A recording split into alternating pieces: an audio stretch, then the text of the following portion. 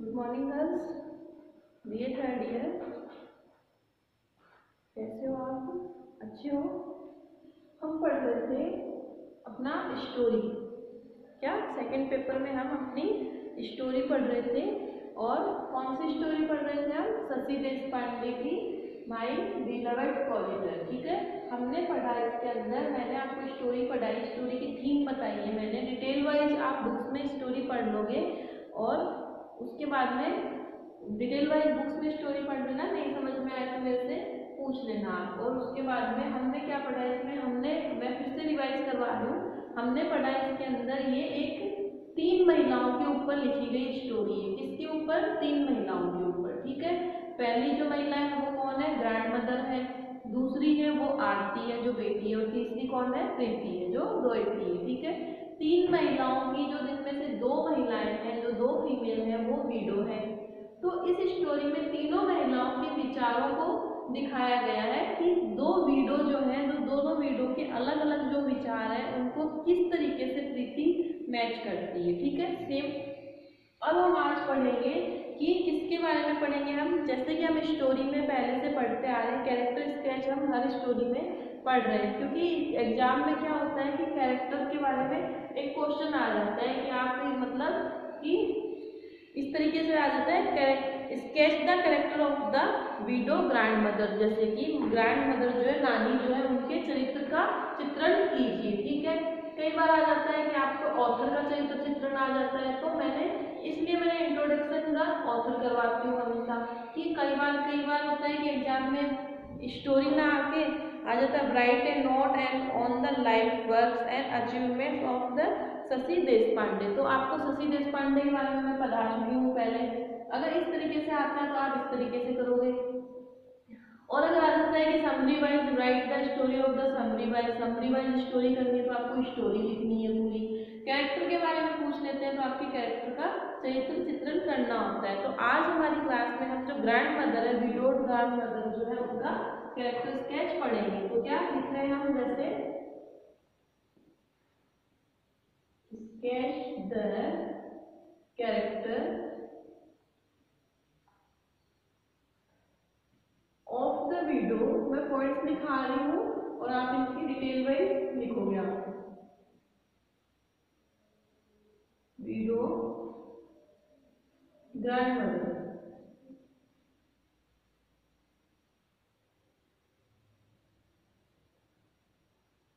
ठीक है grand mother जो नानी जो है उनका चरित्र चित्रण। इसका है ये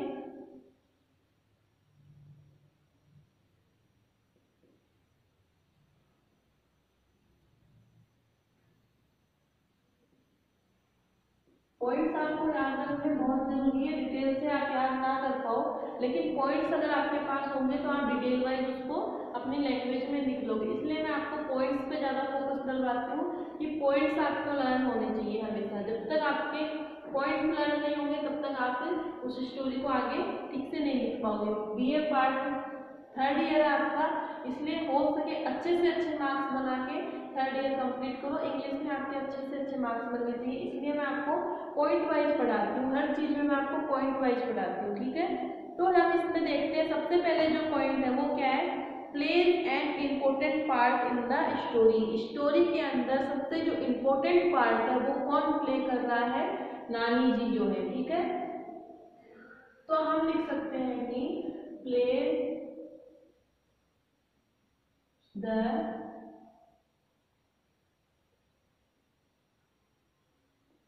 important part of the story. ठीक है? Plays the important part in the story story में सबसे महत्वपूर्ण पार्ट जो है वो किसने निभाया है? ग्रांड मदर ने निभाया है, ठीक है? किस तरीके से हमने पढ़ा है जिसमें कि the role of the grandmother is pivotal in the story she is the connecting link between her daughter Aarti and the granddaughter Preeti Preeti और आरती के बीच में जो कनेक्टिंग लिंक है, वो कौन सा है? ग्रैंड मदर का है, ठीक है?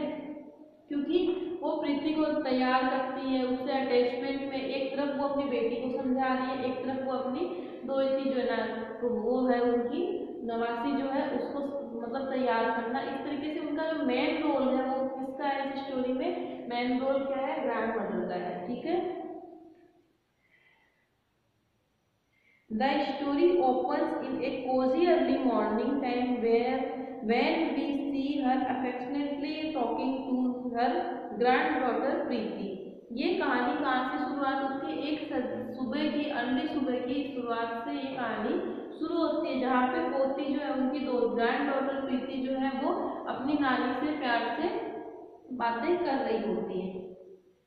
She shares a close bond with Preeti this is a confidential team with exclude the mother the story ends with her narration of her married life of 25 years in which she had suffered the trainings of the cruel husband तो इस तरीके से कहानी की शुरुआत होती है किससे शुरुआत होती है एक अर्ली सुबह से शुरुआत होती है और शुरुआत होने के बाद में कहानी धीरे धीरे धीरे धीरे उनके बीच के भावनाओं को उनके बीच के रिश्तों को दिखाते दिखाते फिर लास्ट में जाते जाते वो ट्वेंटी फाइव ईयर्स जो पच्चीस साल की मैरिड लाइफ थी नानी जी की, वो उसकी तरफ़ जाती है। फिर उसके हस्बैंड का जो बहुत क्रूल नेचर था, बहुत हार्श नेचर था, उसके बारे में दिखाया गया है। उसके बारे में दिखाते दिखाते फिर वो अपनी बेटी को समझा रही होती है। फिर वो अपनी, जैसे नवासी ग्रैंड जो ग्रैंड डॉटर है, उसको तैयार करना स्कूल भेजना, फिर एक तरफ़ बेटी को संभालना, एक तरफ़ दो बेटी को संभालना तो इस तरीके की जो बाउंडिंग है, जो बिठाते बिठाते इसमें मेन रोल कौन निभा रहा है? मेन रोल जो है इस तरीके से ग्रैंड मदर जो है वो इस स्टोरी में मेन रोल निभा रही है। तो ये दिखाया गया है कि plays the important part important part mean महत्वपूर्ण पार्ट जो है, सबसे ज़्यादा महत्वपूर्ण पार्ट जो है, कौन निभा रहा है? ग्रैंड मदर ठीक है? ये जो है ग्रैंड मदर तो इनके एक चरित्र चित्रण, एक कैरेक्टर में एक चीज़ ये दिखाई जा रही है कि ये बहुत ही इम्पोर्टेंट पार्ट है इनका, इस स्टोरी में। ठीक है? फ़र्स्ट पॉइंट ये है कि इनका जो, इस स्टोरी के अंदर जो पार्ट है, वो बहुत ही ज़्यादा इम्पोर्टेंट है। ठीक है?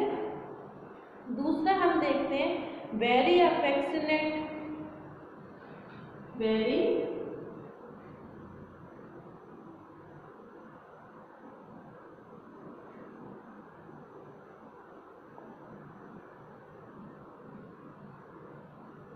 very affectionate बहुत ही स्नेहपूर्ण जो है, बहुत ज़्यादा प्रेमदायक जो है, क्या है? स्नेहशील है, अति स्नेहशील है। बहुत स्नेहशील या स्नेहपूर्ण, ठीक है? दूसरा इनके कैरेक्टर में क्या चीज़ दिखाई जा रही है कि ये बहुत ही ज़्यादा क्या है वो एफिक्सिनेट है। बहुत ही ज़्यादा प्रेम प्रदर्शित करने वाली है। मतलब कि इस कहानी में ये दिखाया है इस तरीके से क्या she is a model grandmother to her granddaughter वो अपनी पोती के लिए, अपनी दोस्ती के लिए एक तरीके से मॉडल ग्रैंड मदर है। एक तरीके से बहुत ज़्यादा प्यार दिखाने वाली और बहुत ज़्यादा उसकी केयर करने वाली ग्रैंड मदर है, ठीक है? वेरी लविंग एंड केयरिंग ठीक है?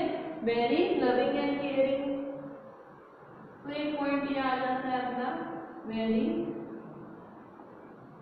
लविंग एंड केयरिंग ठीक है? Very loving and caring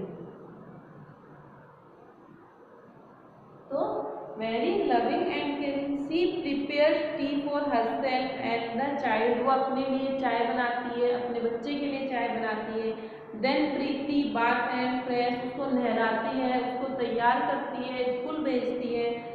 Goes to school really happiness means different things to different people वो ये जानती है कि जो असली जो वो खुशी है, वो अलग अलग मनुष्य से अलग अलग तरीके से प्राप्त होती है। वो उनको ये पता है कि सिर्फ़ खुशियाँ हस्बैंड से ही प्राप्त नहीं होती, खुशियाँ अगर आपको प्राप्त करनी है तो आपको हर चीज़ में खुशी नज़र आएगी। उसने अपनी खुशियाँ अपनी दोस्ती के अंदर ढूंढ ली। इस तरीके से कई बार क्या होता है कि हम किसी चीज़ में इतना इन्वॉल्व हो जाते हैं कि हमें उसी चीज़ में खुशी मिलती है।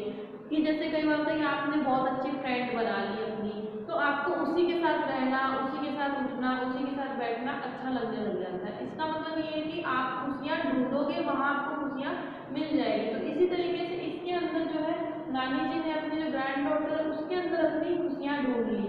तो उस इससे ये दिखाई देता है कि वो बहुत स्नेहशील है, बहुत प्यारी है और केयरिंग है केयर करने वाली है। ठीक है, ये चीज़ उनके कैरेक्टर में दिखाई जा रही है। For her happiness is the beginning of a new day with Preeti उसकी खुशियाँ कहाँ से शुरू होती है?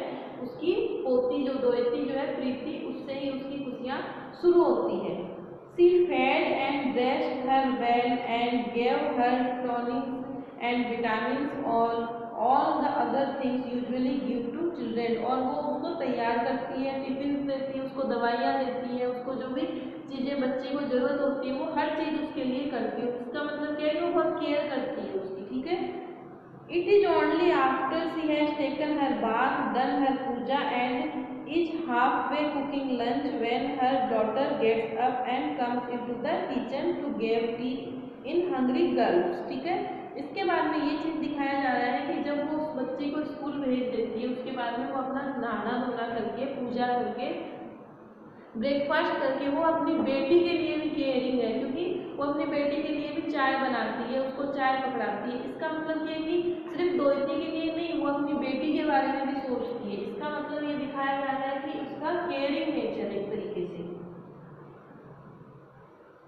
The grandmother minds the house, cooks food and in the daily chores forget herself and her sorrow. और इस तरीके से वो पूरे दिन भर क्या घर में घर के कामों में लगी रहती है। और अपना जो दुख है जो अपने जो तकलीफें जो उसने अपने जीवन में देखी वो उन चीज़ों को भूल जाती है।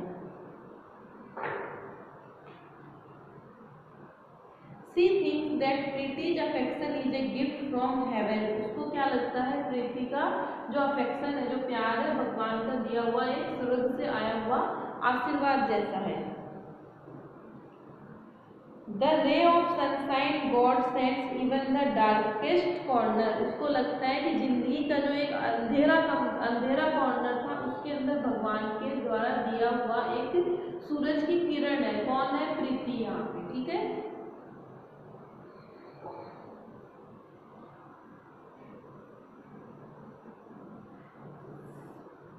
She shows all her affections on Preeti, who is written lover her grandmother very deeply. इस तरीके से वो जितना प्यार अपनी पोती को अपनी दोस्ती को देती है उतना ही वो उससे वापस प्राप्त करती है वो भी दोस्ती भी उसको उतना ही प्यार करती है ठीक है She calls Preeti her beloved corridor who gives her strength for the battle of life. Her life is full of meaning since the child is with her.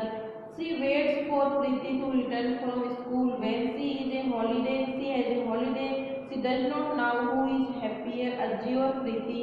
And the unexpected holiday, both of them are full of guilt, gilly. But of Aarti comes there, they feel guilty and hide their happiness. तो क्या बताया जा रहा है कि इस तरीके से उसको प्रीति क्या लगती है प्रीति ऐसे लगती है कि भगवान का दिया हुआ एक उसको गॉड गिफ्ट है और जिस तरीके से वो इसमें दिखाया जा रहा है कि जिस दिन छुट्टी होती है, स्कूल की छुट्टी होती है तो वो दोनों खूब मस्ती करती हैं पूरे दिन भर मतलब एक दूसरे से बातें करना, मस्ती करना, सब कुछ करना। लेकिन जैसे ही आरती उनके सामने आती है तो वो अपनी अपनी हैप्पीनेस को छुपा लेती है। उससे वो डरती है, या तो डरती है, या फिर उनकी उससे कम बनती है। इस तरीके से वो अपना, क्या दिखाया गया है कि उनका जो केयरिंग और लविंग नेचर है अफेक्शनेट है स्नेहपूर्ण है, प्यार करने वाला है और केयर करने वाला नेचर है उनका इस तरीके से, ठीक है? Compare Preeti to Lord Krishna अब क्या दिखाया जा रहा है कि compare Preeti to Lord Krishna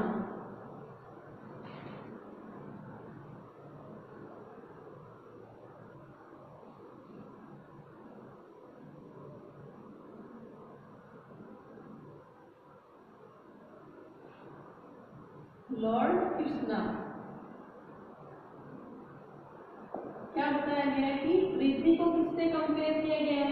Lord Krishna से ठीक है Preeti compare Preeti to Lord Krishna for the grandmother Preeti is just like Lord Krishna of Mahabharata look Krishna device Arjun skirt and give him the message of discharging his duty. He is a source of inspiration to Arjun. Here Preeti provides a great solace to her grandmother. The only lady finds a new meaning in her life. The mutual love between them sustained the old lady in her otherwise meaningless life. ठीक है तो क्या बताया जा रहा है इस तरीके से क्या बताया जा रहा है कि for the grandmother Preeti just like Lord Krishna grandmother के लिए नानी जी के लिए प्रीति क्या है महाभारत में जो युद्ध हुआ था उसमें जिस तरीके से भगवान श्री कृष्ण जी ने अर्जुन के रथ को हाँका था और अर्जुन को सही दिशा दिखाई थी कि आपको इस टाइम ये करना है।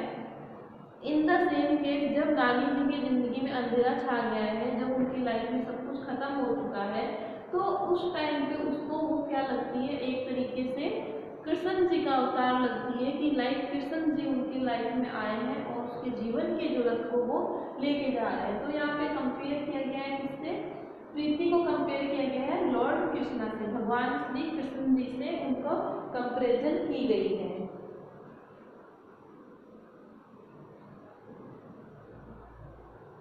ओके तो चार पॉइंट आपके क्लियर हो गए हैं ओके फिफ्थ में हम क्या देखते हैं कि had a horrible married life उनकी जो मैरिड लाइफ कैसी थी? Horrible had a horrible married life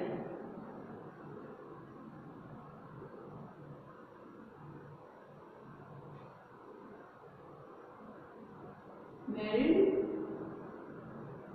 life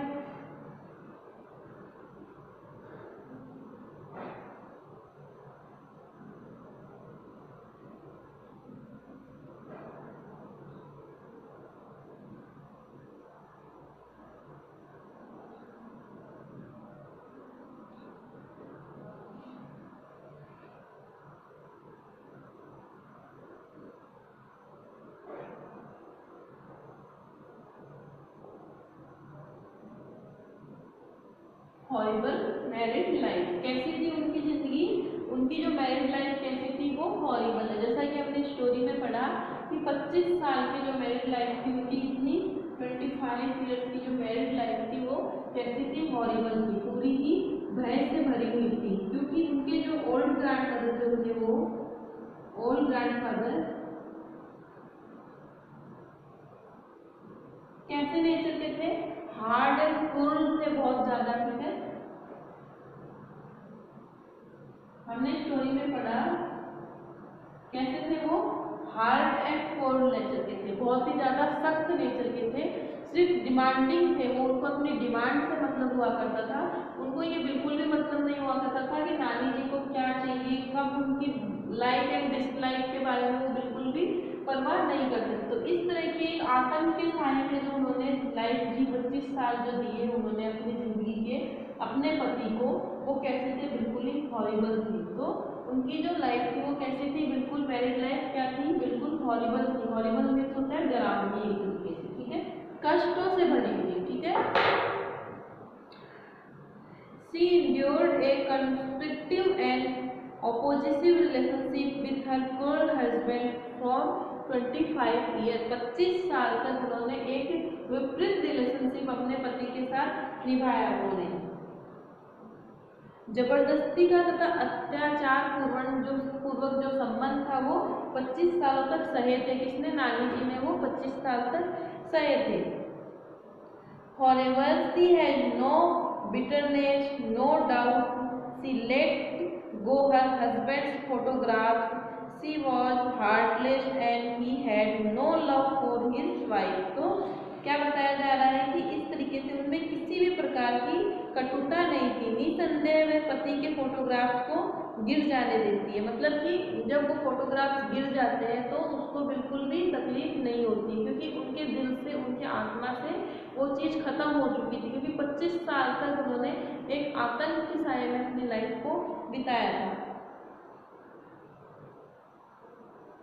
और क्या बताया जा रहा है कि उनके जो हस्बैंड थे वो हार्टलेस थे उनके दिल नाम की कोई चीज़ ही नहीं थी और वो अपनी वाइफ के प्रति बहुत ही मतलब बहुत ही कठोर थे एक तरीके से वो उसको बिल्कुल भी लव नहीं करते थे the wife created to all her needs his needs. When their two infant sons died, the mother alone secretly in the backyard of the house. और क्या बोल रहे हैं कि जो वाइफ थी जो पत्नी थी जो ग्रैंड मदर थी वो उनके लिए हर चीज़ प्रोवाइड करती थी जो उनके हस्बैंड को चाहती चाह, चाहत होती थी। तो क्या कहा जा रहा है? इस तरीके से जब उनके दो बच्चे खत्म हो जाते हैं छोटे बच्चे तब वो उसको ठीक से मतलब वो रोने पे भी उस पर चिल्लाते हैं कि तुम क्यों रो रही हो? तो वो उस टाइम पे अपना जो दुख जो था वो कहाँ पे बैकयार्ड में जाके घर के पीछे जो आहता वगैरह होता है वहाँ पे जाके वो अपना दुख व्यतीत करती थी। वो रोने के लिए भी उसको वहाँ से छुप के रोना पड़ता था। इतने मतलब वो कठोर टाइप की व्यक्ति थी।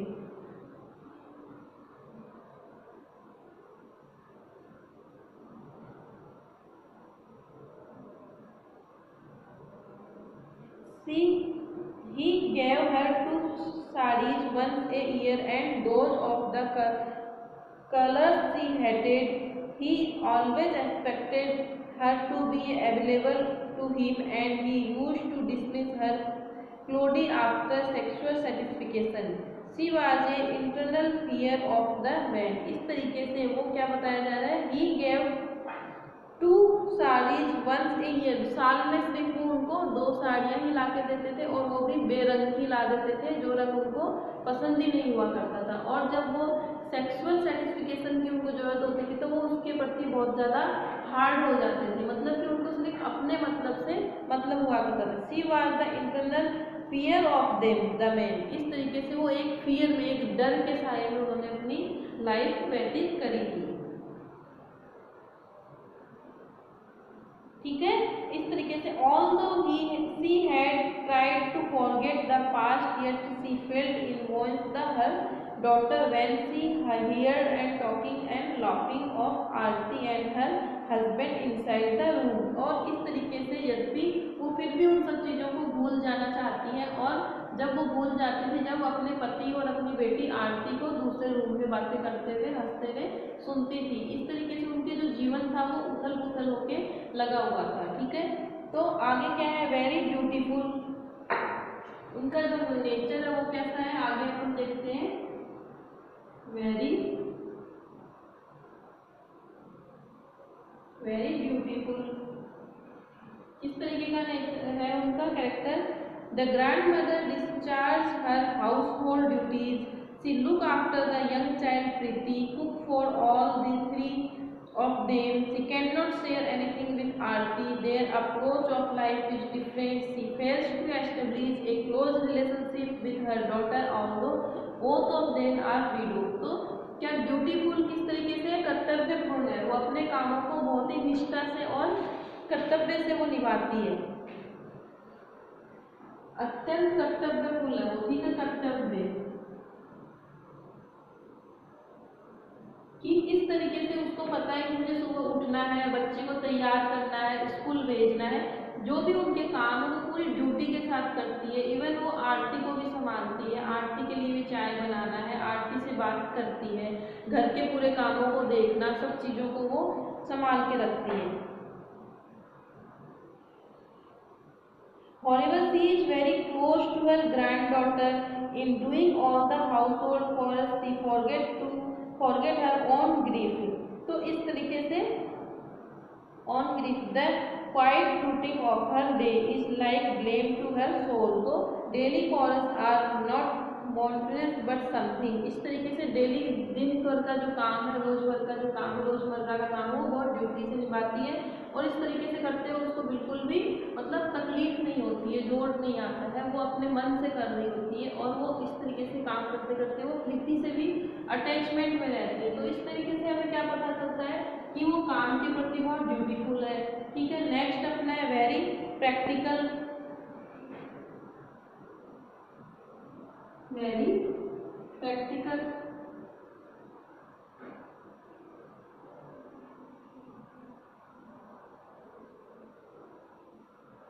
ठीक है, बहुत ज़्यादा प्रैक्टिकल लेडी है ओल्ड लेडी है, लेकिन फिर भी वो अति व्यवहारिक है ठीक है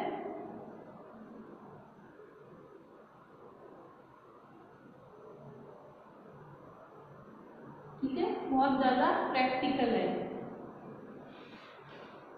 तो क्या है? She looks after her daughter's daughter's body and her physical needs Aarti is now so think and better but her mother can not help ठीक है? क्या बताया जा रहा है? इसके अंदर दिखाया जा रहा है कि वो अपनी बेटी के शरीर तथा उनकी जो शारीरिक पूर्ति है, वो उनका भी ख्याल रखती है। मतलब कि ओल्ड होने के बावजूद, बूढ़े बूढ़े होने के बावजूद भी वो प्रैक्टिकल है। वो प्रीति को, वो आरती को बोल रही होती है कि आप मतलब कि तुम सिगरेट पी रही हो, धूम्रपान कर रही हो, तुम अपने शरीर का ध्यान नहीं रख रही, तुम अपनी ड्रेस का ध्यान नहीं रख रही हो, तुम्हारे पहनने का, कपड़े पहनने का तरीका ठीक से नहीं है और आजकल के लोग जो हैं, उनके ऊपर तुम कमेंट कर रही हो ज्वेलर्स हो रही हो तो ये सब बातें ठीक नहीं है। तो इन चीज़ों से पता चलता है कि वो ओल्ड होने के बावजूद भी बहुत प्रैक्टिकल है।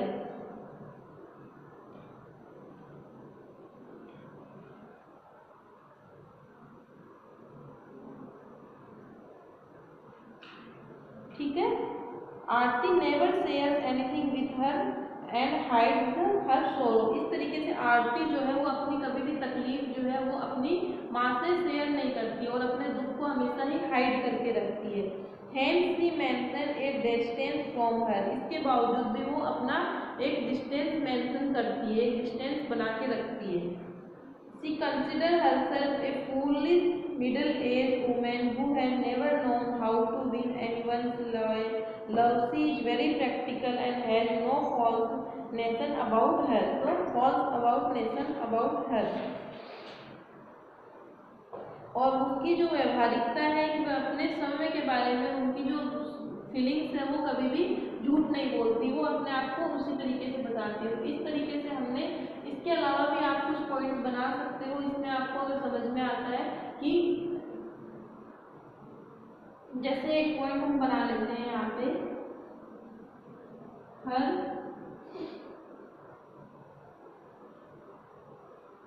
thoughts about her husband